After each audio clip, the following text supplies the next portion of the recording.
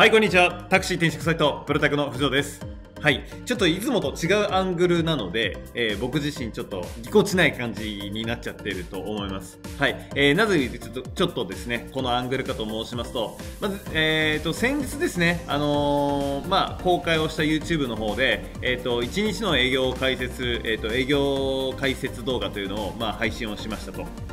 で、まあ、それが結構反響だったんですけどもちょっとね今東京のタクシー状況が飲食店に対してその時短営業が、ま、出てきたというところでやはりこの時短営業下の最新の営業ノウハウっていうのはもうこれは発信した方がいいなというふうにま感じましたので僕自身もですねその時短営業という、えー、と報道を受けて早速その時短営業、まあ、初日ですけれども11月の28日に、えー、と乗務をしてみました。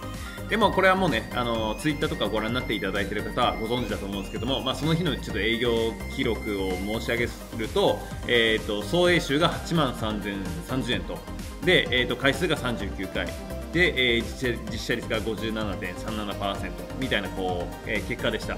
なので、まあ、結論申し上げると、まあ、その時短営業のまあ影響をそんなに受けずに、あの結果としては、えーと売り上げを上げられたんではないかなと思います。でただね、まあ、ここに関しては、まあ、時短営業初日だからだからそんな影響を受けなかったんじゃないかっていうふうにまあ感じる方もひょっとしたらおられるかもしれません。ただ実際に街をに繰り出してみたところですねやはり10時以降ですね、えー、人の引きも早かったりとか飲食店もこうやっぱり、えー、閉まってしまっているところ事実ありました。なのであの通常通りにはいかなかったなっていうところは正直ありますしあとはやっぱり、えー、いろんなそのタクシー会社さんからの、まあ、話を聞いているとあの平均売上がその前の週の同じ土曜日と比較をしたらやっぱ5000円ぐらい下がったというふうにおっしゃっておりました。なのでやっぱりこの初日からも間違いなく初日からですねあの影響は出てたんではないかなと思います。でそれでもやっぱりまあ僕自身そのある程度まあ売り上げを作ることができたというところもありますしあとはですね、えーと、本当12月入ってから本当じゃあその時短営業が本格化する中でも、えー、僕のそのタクシードライバー仲間とかあとはこのツイッター上のつな、えー、がってる、まあ、僕のこの、えー、フォロワーさんって言ったらいいんですかねとかでもあのコロナのしかも時短営業の、えーと、影響を受けずにもう7万8万、えー、なんなら9万以上とか、えー、出されてる方もおられます。でやはり、えーとこういうふうにその世の中の、まあ、影響を、まあ、受けてはいるとは思うんですけどもそういった厳しいと言われている状況下でも、まあ、結果を出している、えー、数字を出している、えー、ドライバーは何が違うかっていうと、まあ、中にはずば抜けたこう運がいいとかっていう人も、まあ、ひょっとしたらいるかもしれないんですけどもまあ、でもそうではなくて、えー、やはり共通して言えるのはやっぱりそのその都度その都度、えー、空車になってからお客様にご降車をしていただいてからの、まあ、立ち回りこの部分がやはり重要ではないかなと思います。だからこそですね実際に僕が11月の28日の営業の、えー、記録ですよね、えー、実際に、えー空車になってから次のお客様にご乗車をしていただくまでの間どんなことを考えながら、えー、どこに向かって走っていっているのかっていうのをですね、まあ、ここにございます通り、えー、営業記録に基づいて、え、また解説をしていこうと思います。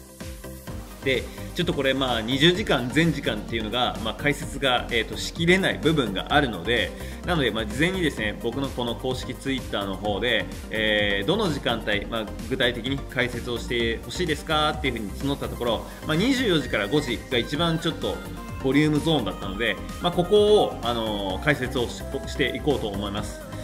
で、えー、事前にはこの24時から5時までというふうにはなってたんですが実際に今現状においてですよ。現状においてこの時短営業のもう影響っていうのが10時以降からやっぱり出始めてる部分もありますのでなので、まあ、今回の解説に関してはまさにその10時からの動きをあの解説をしていければなと思いますので、えー、最後までご視聴いただければ幸いでございます。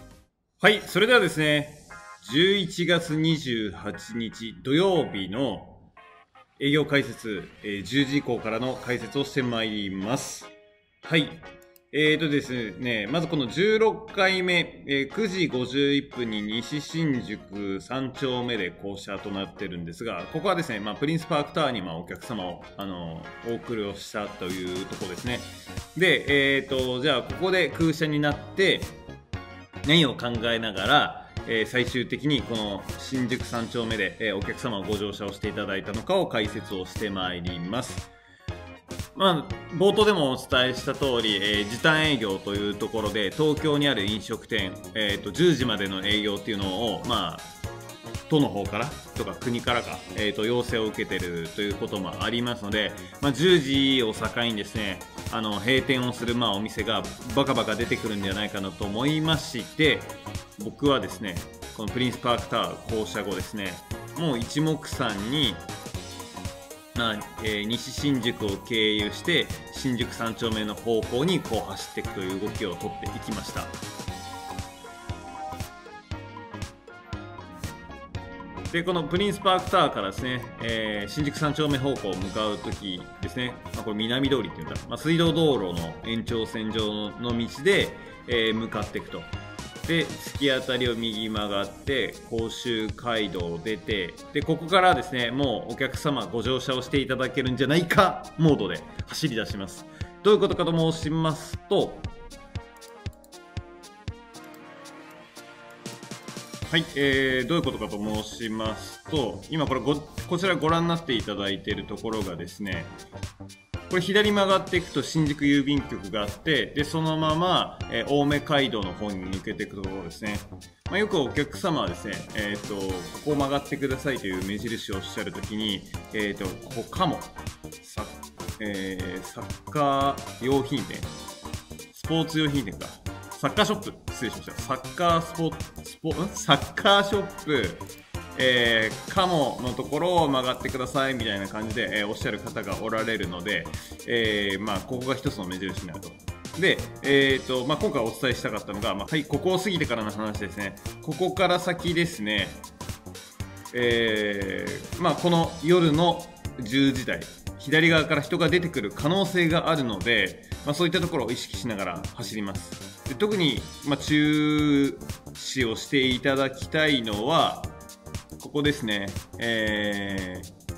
ー、ラビ、山田電機ですか？はい、えー、ここですね。この山ラビラ山田電機の、えー、手前の今この車が白い車が入っているとこの路地からこうやって出てくる来て、えー、タクシーをご利用になるという方がおられるので、えー、そういう方ご乗車をしていただけないかなっていうので本当にまあ左側こうやって見ながら走っていくとで、ここの今のラビがあるところの信号から先がですね、もうこれご覧になっていただけますでしょうか。第一通行帯に置かれましては、はい、左折専用レーンとなります。で、この先のですね、西新宿1丁目の信号ですね。はい、えーと、まさにここですね。この西新宿1丁目の交差点なんですけども、えー、まあ1日を通して、まあ、ちょっと終電以降はなかなか人いないですけども本当にまあ電車が走っている時間帯に関して、まあ、結構この西新宿1丁目という交差点はお客様の乗車乗車申し込みがあるとある程度見込める、え、交差点となります。でこの交差点やはり注意していただきたいのが、まあ、先ほどもお伝えしましたがもう第一通行帯がこのように左折専用レーンになるんですねなのでこの場所にいてお客様から乗車申し込みを受けそしてはい、えー、直進してくださいと言ってこのように甲州街道を四谷方向に向かって直進をしていくとこれ違反となります。で実際にですね結構この坂の先とかに白バイがいたりとかこの違反を取り締まることがすごく多いんですね。だからですね、えーと、ここでの乗車申し込みがあった場合はもうすぐにドアを開けるのではなくてあの助手席の窓を開けてで仮に第一通行帯にいた場合はこの位置からですと左しか曲がれないんですよねというふうに、えー、まあ、お断りお伝えをしてでお客様にあのそのままご乗車になっていただくかどうかを判断していただくと、えー、いうふうになります。はい、えー、ちなみに僕に関しましては、えーと、ここの西新宿1丁目の信号が、まあ、仮にもう黄色ですとかもうこれから赤になりそうですとかっていう状況になったら、まあ、後ろから車が来てなければここのオレンジ線の手前ですね。オレンジ線の手前あたりで停車をします。でまあ、そうすることによって、まあ、直進、まだその手前であればね、えー、オレンジ線をまたがなければこれ違反じゃないのでなので手前で停車をしてでこう歩いてこられる方とかこの路地から出てくる方の乗車申し込みを受けて直進行けるようにするっていうのを、まあ、結構やったりとかします。まあ、この辺りですね、ちょっと言葉だけだと伝わりにくいかもしれないので、その辺りですね、道路状況とかを見ながら、まあ、臨機応変に対応していただければと思います。まあ、結構ですね、あのー、なんか先を急ぎたいなんていう、こう、えードライバー、まあ、これタクシーに限らずいらっしゃってなんかこんなとこでこう止まってるとプーとかでクラクション鳴らされる場合がありますなのでもう後ろ見ててあ明らかにこれまっすぐ行きたそうだなっていうと、えー、車がいた場合はもうそこはもう諦めてもうそのまま第一通行帯入るとか手前から後ろぴったりくっついてる車とかがいたら、まあ、これ本当道路状況を見ながらなんですけどもまあ、っすぐ行こうと、してた場合ですねあらかじめもう第二通行帯に移るなどなど臨機応変にちょっと対応していただければと思います。まあ、そんなこともしましたが、まあ、結局日新宿1丁目では、えー、お客様ご乗車をしていただけませんでした。で、この先ですね、まあ、甲州街道直進をしていきまして、で、はい、えー、またストリートビューになります。でですね、この今前方がこれ明治通りとの交差点なんですけども新宿駅の,、えーと、このルミネとかを越えた辺りぐらいからこれ見えますかね？よいしょ。はいえー、っとまあ今この白いトラックとかがいいのかな。この辺りのちょっと先に、えー、新宿駅東口のタクシー乗り場があるんですよね。で、まあ、僕はですね後ろからこの甲州街道を走ってる時に後ろから車が来てないなっていう状況だとあのここタクシー流れてるかなどうかなっていうのを必ず確認するようにしてるんですね。で今回もですね、まあ、確認をしながら走ろうかなって思ってたんですがただこの時に関してはもうちょうどちょうどですねちょうどここが見える目の前のこの辺りにはい、この辺りになんかねトラックかな？なんか止まっててちょうど見えなかったと。だから新宿駅東口が、まあ、流れてるかどうかが確認ができなかったんですね。なので僕はですねまあまっすぐこのまま行きまして